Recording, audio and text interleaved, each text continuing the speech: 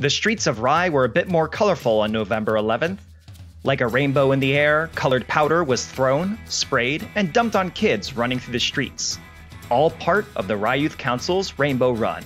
This morning is the second annual Rye Youth Council Rainbow Fun Run. This year it's an at home edition, so instead of gathering at the Rye Rec with hundreds of children and the Rye PBA, who's one of our platinum sponsors, and with Julia Fee, Sotheby's International Realty, we are actually preparing here for our Rye Youth Council Roving Rainbow Caravan, and we're going to be driving through neighborhoods and stopping and dousing the kids with a lot of colorful rainbow powder. So right now what you're seeing are a lot of Rye High School teen volunteers. Some are members, some are members of our youth advisory board, some are social media interns, and others are kids who had the day off and wanted to help. And they are decorating the roving rainbow caravan. So they're decorating all the cars with colors and rainbows, and they'll be participating as we ride through neighborhoods and throw powder on the kids as we get to those neighborhoods.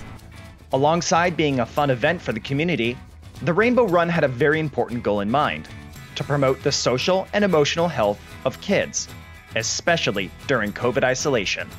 So, we know that connection is one of the most important protective factors when it comes to youth, connecting them to their peers, connecting them to community. Anytime we can engage youth with others in community, it's keeping them away from potential harmful behaviors or habits. And since March, when this pandemic started, kids have been isolated more than they ever have been. We know it's increasingly important for them to retain those social connections, the importance of connecting to others. And so we're hoping that today gives them a semblance of normalcy. So even though we're all a mask still and we're not gathering like we did last year, there will be absolutely be a sense of community of them gathering in their own neighborhoods with their own pods and, uh, and having fun that way an enjoyable, and certainly colorful way to engage the community and the children of Rye.